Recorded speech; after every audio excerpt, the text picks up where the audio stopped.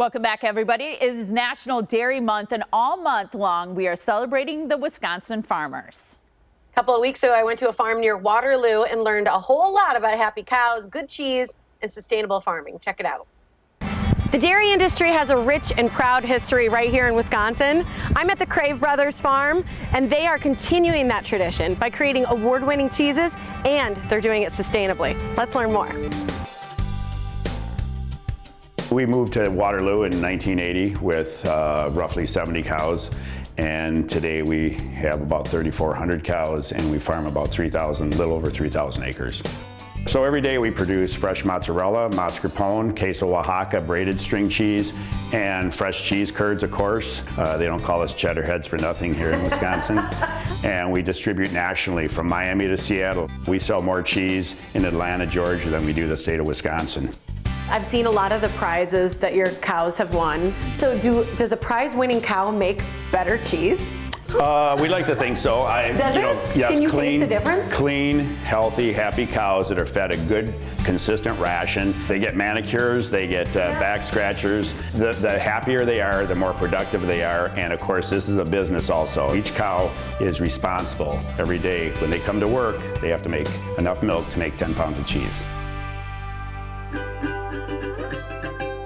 Patrick and Peach, I can't just address one of you. we were joking right before we started filming. You said she's a little bit spoiled. Just a little bit. She's one of our show cows. She's been able to travel to Milwaukee, to Madison. That's how she gets so spoiled. She is. She's a beauty. What are you most proud of to be a part of the Crave Brothers? The number one thing for me is, is that we care. Healthy cows, happy cows, they're gonna produce high quality milk and it's just fun getting up every day and making, making that a, a reality. That's what us and all of our employees strive to do. And you can tell that she's happy and healthy and it makes us feel good. Final thing I want to know, what's the key to milking a cow? Gotta have strong hands. Your farm is sustainable, and that's a big deal. Right, we take the waste from the farm and the cheese factory and produce methane gas. The methane gas powers a large internal combustion engine that turns an electromagnetic generator that generates enough electricity to power our farm, cheese factory, and about 300 homes in our community.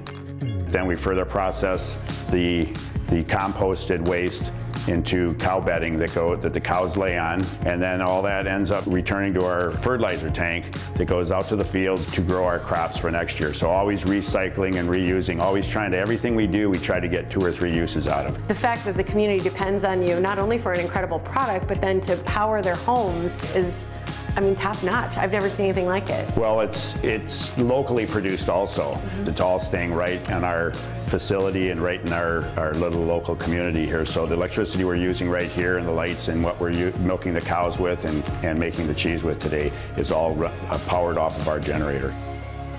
What do you say is something that people need to know about cheese? How can you tell a good cheese from an okay cheese? Well, a good cheese is one that you like because there's so many types of cheeses. One cheese you'd really enjoy that we make is mascarpone cream cheese, which is really delicious and used in sauces and uh, Alfredo sauces and desserts, and we've developed a lot of dessert recipes. June is Dairy Month. How, how can the community support what you do?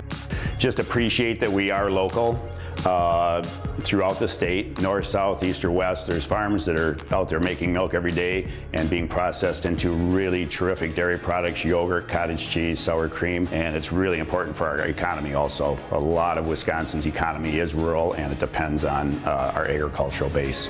Well, I love what you do. I love your cows. I can tell that you guys love them too, and I'm excited to love your cheese even more when I get my hands on it.